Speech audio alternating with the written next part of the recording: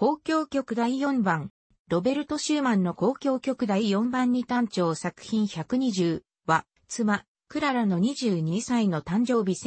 1841年9月13日に誕生日、プレゼントとして彼女に贈られた。作曲はその直前3ヶ月間で行われた。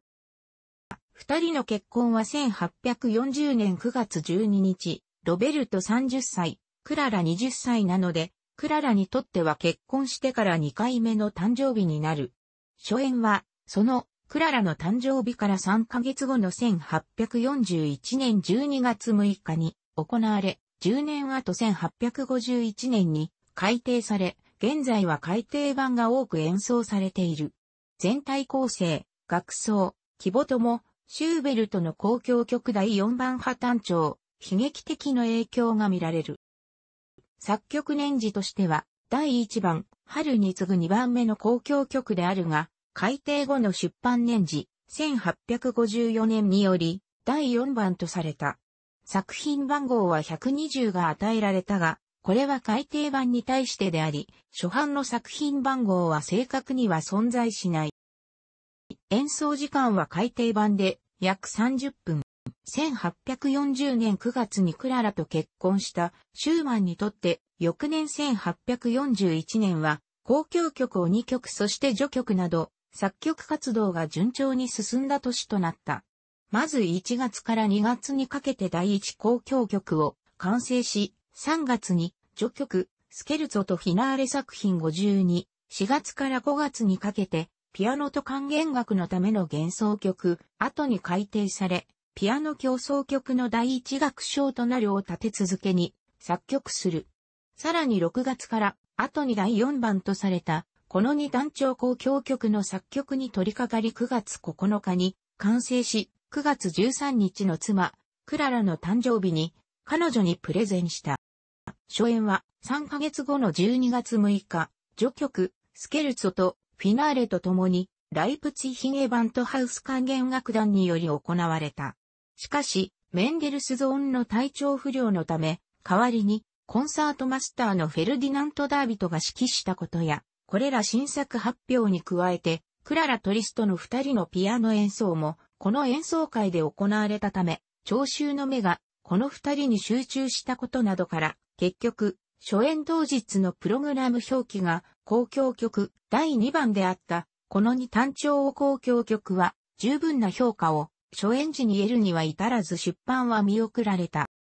シューマンは、この曲は第一番より決して劣るものではないと自信を持っていたが、結局、この書稿に基づく版、口述が出版されたのは、シューマン死後の1891年である。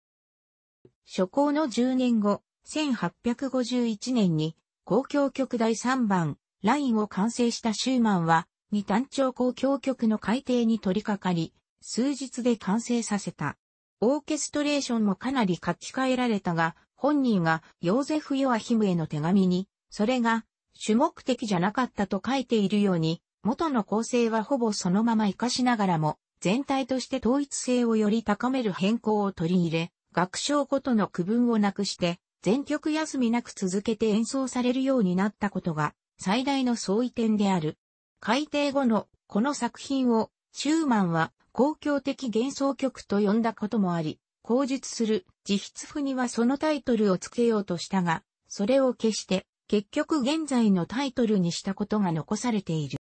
改訂版は1853年12月30日に、デュッセルドルフにおいて、シューマン自身の指揮によって初演され、翌1854年に出版された。シューマンは初演について以前の作品より充実していて、効果十分だったと書いている。この曲の楽譜には正式な献辞はないが、シューマンは自筆譜をヨアヒムに送っている。シューマンの死後、その楽譜の編集に当たったヨハネス・ブラームスは、初稿の優位性を主張して、クララと意見が対立したと言われる。結局、ブラームスの尽力で、初稿版は1889年10月22日に、ケルンでフランツ・ビュルナーの指揮で再演され、ブラームスとビュルナーの校訂版として1891年には出版されるのだが、ビュルナーは自筆に従った工程を、ブラームスはシューマンによる最終項の要素を取り入れた工程を主張し、最終的には部分的に最終項を採用する形でまとめられたため、厳密な意味での初項版ではない。現在では海底項が一般的に演奏されるが、このビュルナー版、1891年版と表記されることもあるや後に出版された1841年の初演版による演奏や録音もある。この曲の日本初演は1926年12月11日、福岡市記念館にて、佐野智次、荒川文六式、旧大フィルハーモニーオーケストラによって行われた。フルートに、オーボエに、クラリネットに、初行、C 管、改訂版、B 管、ファゴットに、ホルン4、トランペットに、D 管開管、トロンボーン3、ティンパに、弦5部。前述したように、改訂後の楽章区分はなく、全曲は休みなく続けて演奏されるが、ここでは便宜上4つの楽章に分けて述べる。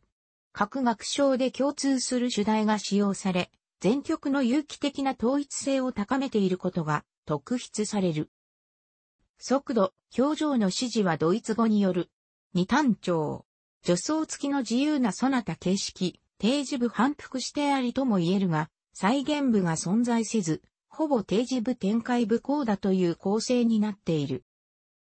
3、4拍子で始まり、緩やかな助走の動機が示される。第一主題を予告する動機が繰り返されて、速度を速め、主部に入る。主部は2、4拍子。第一主題は、半音階的に上下し、幻想的な響きを持つ。第二主題に相当するものは認められず、主部は第一主題の変形や展開によって形成されている。3本のトロンボーンの和音により展開部に入る。展開部では第一主題を扱うが、やがて新たな主題が現れ、確保される。さらに流麗な旋律が続く。これが繰り返され、高まると、こうだとなり、流麗な旋律が勝ち誇ったようにそうされ、第一主題と新たな主題で締めくくられる。異端調。3、4拍子。三部形式。オーボエとチェロの独奏により、第一楽章第一主題に基づく中世、ロマンス風な旋律を奏し、弦は第一楽章助奏の主題を示す。中間部は、バイオリン独奏が三連符で流れるような旋律を奏でる。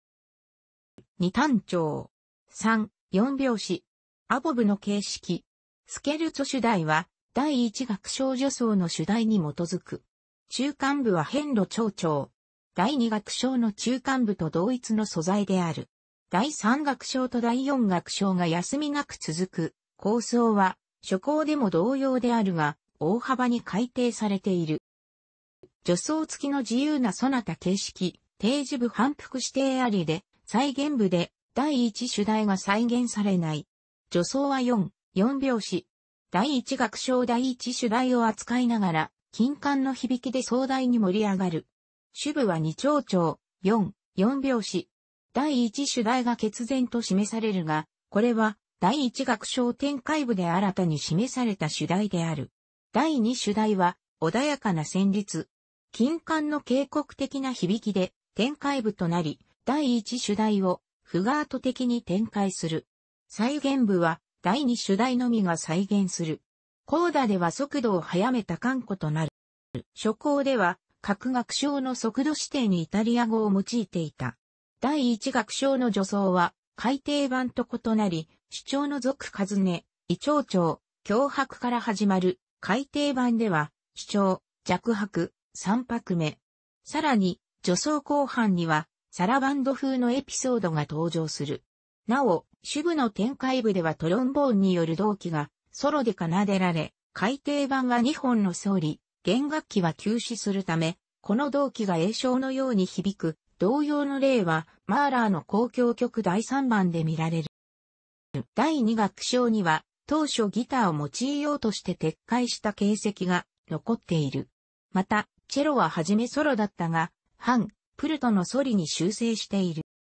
第3楽章では、当初8小節にわたるファンファーレの後に、スキルツォに入るようになっていた。このファンファーレは、チャイコフスキーの交響曲第4番第1楽章の助走に似ている。この助走は結局削除され、自筆譜の一番下にはトランペットによるもう一つのファンファーレが書かれている。しかし、この部分は最初のものを含めて出版譜には採用されておらず、録音でも取り上げられていない例外として、ゲオルク・シュメーエとベルリン放送交響楽団との CD は上記の第2のファンファーレをホルンと組み合わせて採用している。第4楽章は主題の後半4小節が違っている。定時部の繰り返しもないため、全体の演奏時間も少し短い。第1楽章も同様である。全体は約24分かかる。他のシューマンの交響曲と同様に、かつては様々な指揮者が様々なオーケストレーションの変更を行っていた。マーラーによるものがよく知られているが、他の3曲の交響曲の大幅な改変に比べると、この曲での改変はあまり目立たない。このマーラー版の録音としては、チェッカーとシャイー、ライプチヒゲ版とハウス管弦楽団との新版、スダーンのものが存在する。マタセル、クレンペラー、クーベリック、バイエルン放送交響楽団との新版、ロジェストベンスキーは、マーラー版とは異なった手法で、かなり過激な変更を行っており、第一楽章展開部のクライマックスやコーダでは、金管による派手な補強が施されている。クーベリックは、シューマンの交響曲全集を2回録音しているが、この曲の9番や他の3曲ではほぼ原点通りに演しているのに対し、この曲の新版のみスコアを大幅に改変している。楽しくご覧になりましたら、購読と良いです。クリックしてください。